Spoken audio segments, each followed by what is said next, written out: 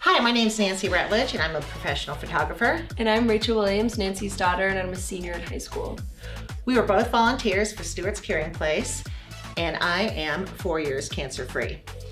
Although we can't all be together at Stewart's today, we'd like to take the time to show you some photography tips to take some photos in your own backyard.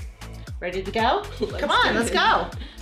Here are some tips to make some great photos out of everyday objects right around your house and yard. For example, We'll start with the bird's eye view versus worm's eye view.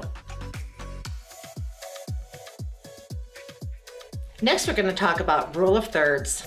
The rule of thirds is where you position the main focus of the photo to the outside, top, or bottom. This creates a more interesting look for your overall photo.